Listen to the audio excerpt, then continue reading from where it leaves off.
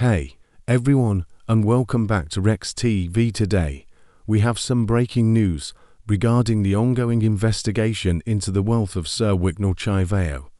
It has been rumoured for quite some time that Chivhayo, who is closely related to the president, has been involved in questionable deals and has amassed an unprecedented amount of wealth through dubious means.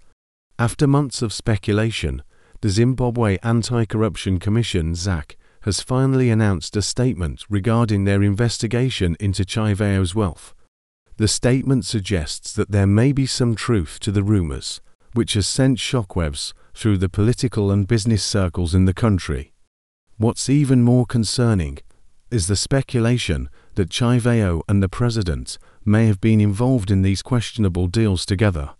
This has raised serious questions about the integrity of the government and has the potential to shake the very foundations of the current administration.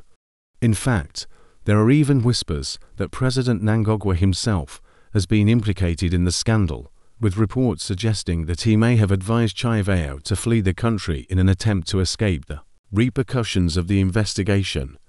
This revelation has the potential to cause a political crisis as it could tarnish the image of the president and his government and erode the public's trust in their leadership. It's important to note that these are still just rumors and allegations at this point, and the investigation is still ongoing.